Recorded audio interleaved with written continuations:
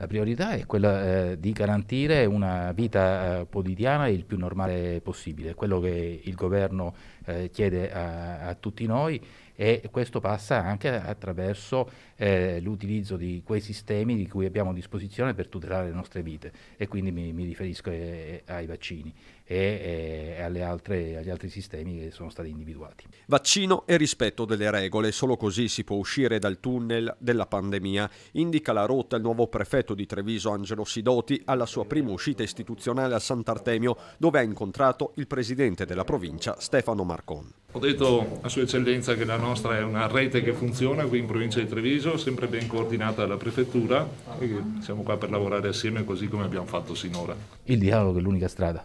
Dialogo essenziale anche con la cittadinanza, chiamata al rispetto di normative sempre nuove, soprattutto sul fronte delle certificazioni, collegato il tema dei controlli. Anche quando eh, tutte le prefetture o, o, forze di polizia hanno elevato sanzioni, non sono state mai in numero tale da far preoccupare. C'è stata una generale correttezza e, e, e accettazione dei, di queste regole nuove. E se il predecessore Laganà ha lasciato la marca definendo i trevigiani responsabili, il nuovo prefetto si sbilancia fin da subito. Lo saranno senz'altro, non ho nessun dubbio.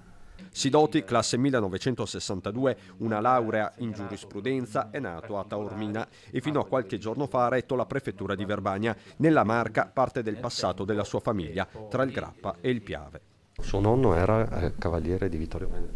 Sì, era cavaliere di Vittorio Veneto, combatté nella Grande Guerra. Nel presente i temi legati alla pandemia, compresi quelli economici, con un focus sul rischio di infiltrazioni criminali in un tessuto comunque ricco e non manca un primo messaggio ai trevigiani di continuare come hanno sempre fatto, grandi lavoratori, grandi persone responsabili e pur sempre nel rispetto delle regole del vivere civile.